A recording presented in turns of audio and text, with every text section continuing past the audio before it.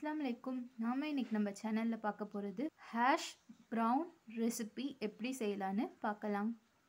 நான் வந்து நாலு உருளைக்கிழங்கு எடுத்திருக்கேன். அந்த நாலு உருளைக்கிழங்கும் நல்லா வாஷ் நல்லா கழுவிட்டு தோல் சீவி நம்ம இது மாதிரி துருவி வச்சுக்கலாம். துருவி அதை ஒரு தண்ணியில் நல்லா ஊற வச்சுக்கலாம்.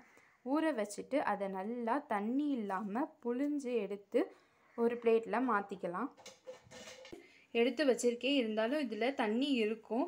அதை வந்து நம்ம இது மாதிரி காட்டன் ஷாலில் இதை ஃபுல்லாக போட்டு மீதம் இருக்கிற நல்ல தண்ணி எல்லாம் இருக்கக்கூடாது. அதனால் மீதம் இருக்கிற தண்ணியெல்லாம் நம்ம எடுத்துடலாம். நான் உருளைக்கிழங்க இப்போ நல்லா போ தண்ணி இல்லாமல் எடுத்து வச்சுருக்கோம். துருண உருளைக்கிழங்க.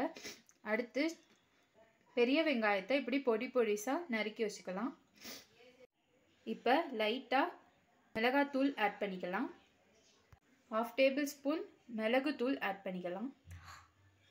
உப்பு கால் ஸ்பூன் ஆட் பண்ணிக்கலாம். ரெண்டு டேபிள் ஸ்பூன் அரிசி மாவு ஆட் பண்ணிக்கலாம். நாலு டேபிள் ஸ்பூன் மைதா மாவு ஆட் பண்ணிக்கலாம். இப்போ இது எல்லாத்தையும் நல்லா மிக்ஸ் பண்ணிக்கலாம்.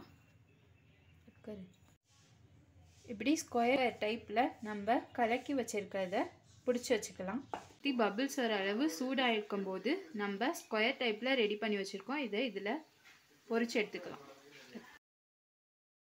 ஹேஷ் ப்ரௌன் ரெசிபி ரெடி ஆயிடுச்சு